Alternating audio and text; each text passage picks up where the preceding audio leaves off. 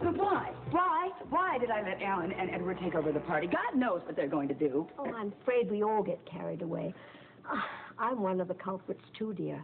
I'm Oh, sorry. Come on, Lila. No, you're not to blame. If anyone's at fault, it's Alan. He hasn't been in the best of moods lately, Huh. has he?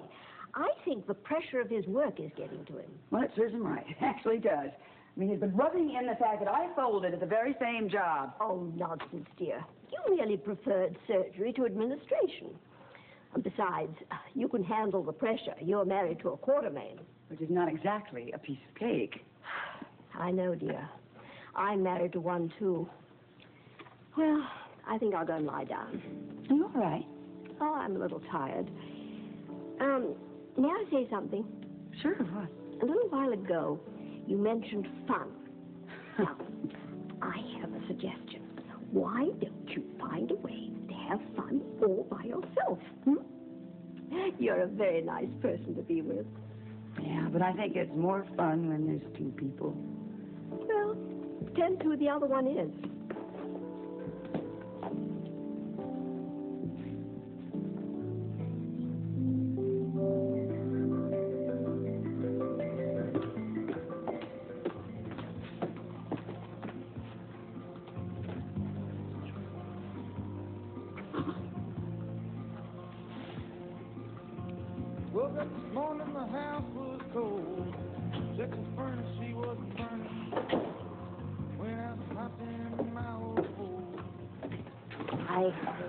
Was getting worried about you. I'm sorry I'm late.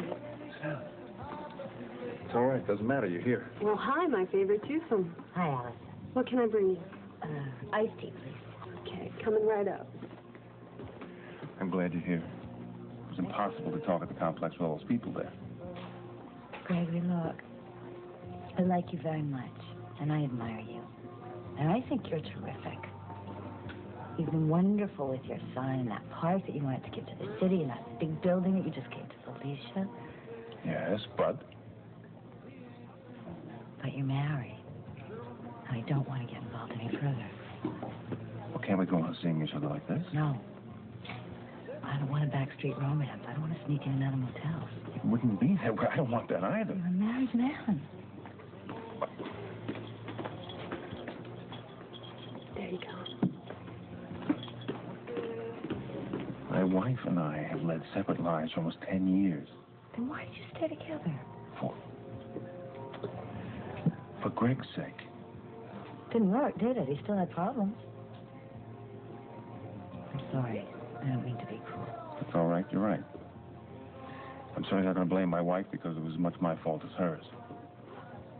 We don't have to say goodbye. We can keep on enjoying each other. I don't mean in bars and motels. I want to spend time with you. We can be alone and have our privacy. Now look at me. Tell me that you don't want that too.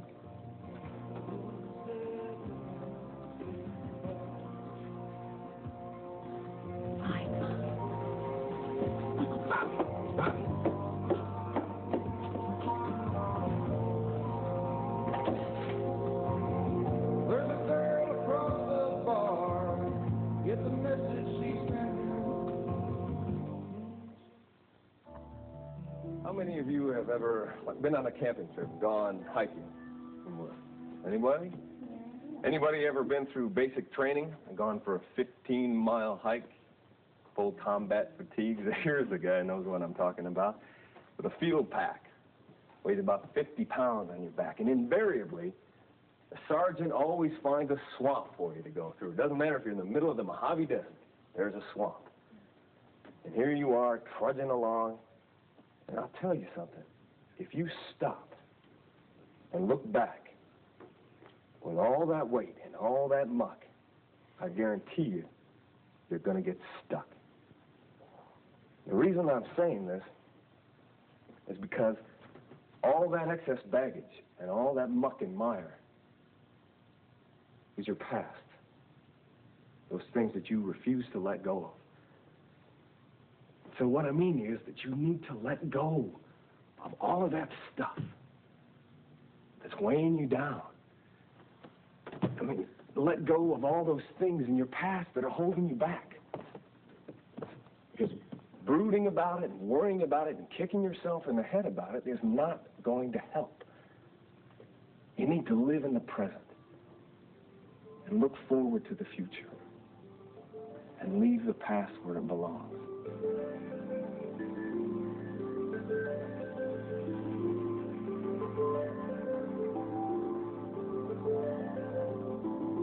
Because you can't you can't look forward to the future. And you can't focus on the present if you're looking back at what might have been. You're thinking about your failures and, and your lost loves.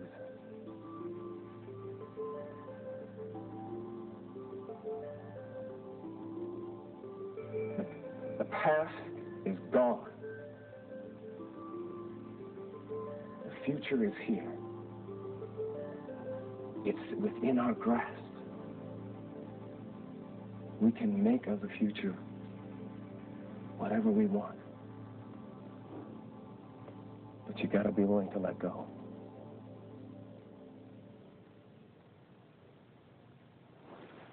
Thank you. You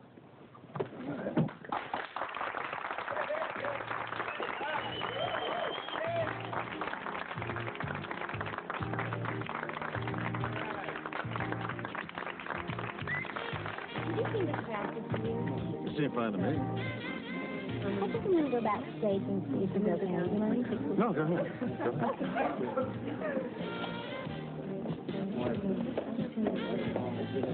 Oh,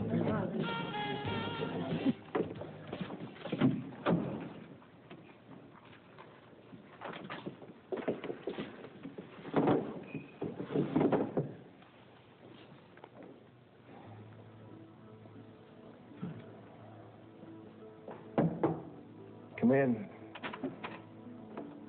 Hi. Are you all right? Yeah, yeah, I'm fine. Why? Well, I don't know. You just seem kind of distracted. No, I think you're just being overly sensitive to me and everything that's been going on. No, I'm not. Everybody, including you, keeps reminding me of everything that I've been through.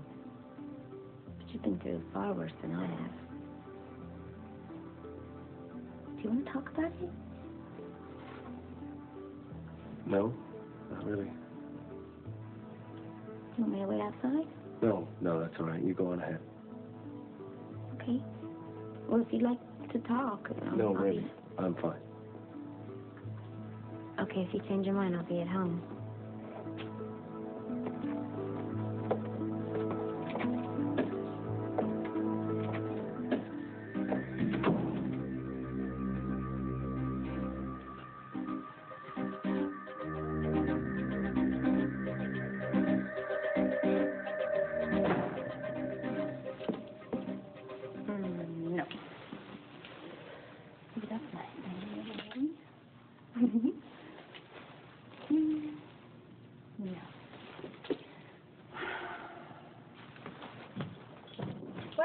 Got BJ down for a nap. What in the world are you doing? Well, I am trying to find the perfect dress to wear to the Quartermaine's dinner party tomorrow night. Lucy, I don't know that Tony is going to want to go with you after the awful things you said about him this afternoon. Whose side are you on, anyway? I'm not on anybody's side, but girl, it's getting late. What is that supposed to mean? It's late, and your husband isn't home. And I think, frankly, he's staying away on purpose because he's sick of the ugly fights you've been having. He's sick of them. And Charlene, what about me? I'm sick too, you know. What am I supposed to be feeling here, you know? My my marriage like it's completely on the line. I, I don't know why I even married the man now. He was supposed to be my ticket to respectability. You know, I was going to really be somebody with it. Honey, you are I was going to be wearing now. stable coats and driving in limo-driven Now, cars. And now I've got a damn daycare center, a bunch of dirty diapers, and a man who doesn't have any ambition at all. Now, that is not yes, true. it is true. It's true, and you know it. Lucy, you're being entirely self-centered. I am not. You certainly are. Now, you calm down and you listen to me. You were wrong to shove yourself in front of the I was not. You were at the award ceremony. And shoving Tony in that way, my gosh, the man's just buried his So brother. what, Aunt Charlene? So give him some time to mourn. Well, I hate his brother. I hate Frisco Jones. Lucy, don't even say that. Well, I do. You don't even understand. That man almost ruined my life. I mean, I could be married right now to Kevin. I could be rich and I could be very, very happy. Well, I hate Frisco. I hate him and I'm very glad he's dead.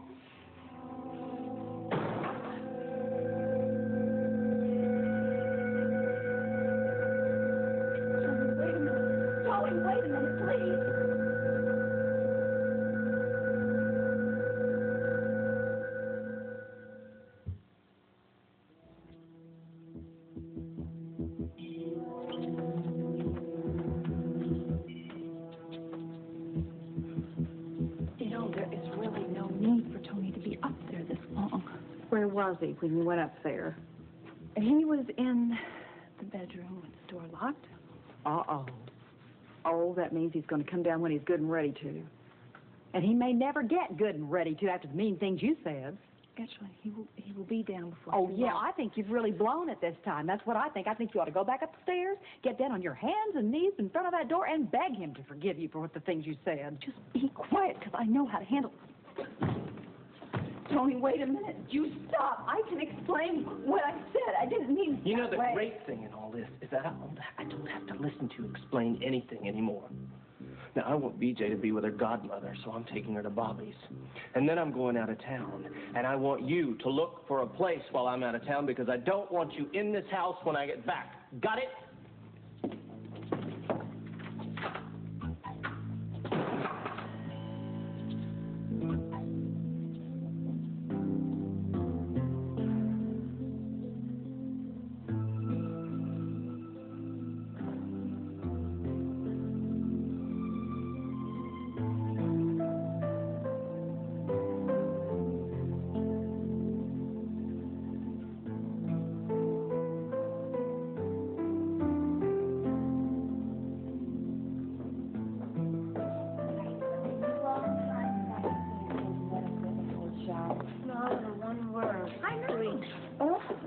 What's all this about Greece? Who's going on vacation? Oh, uh, nobody. It was just that Colton was after Real Strange before the show today, and he was blurting some of that in Greek. It's odd. yeah, well, I thought it was a little odd. He was, uh, I tried to calm him down and get him out of and get his mind back on the show, but it seems to me the word had something to do with Felicia, so he got a little crazed, you know.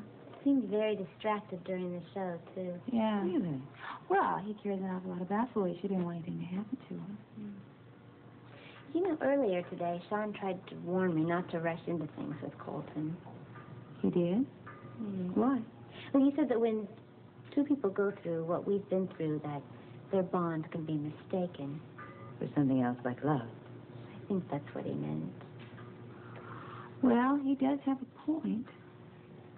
Yeah. But I think I finally realized that my feelings for him are deeper than what I would care to admit, and I think about him a lot too.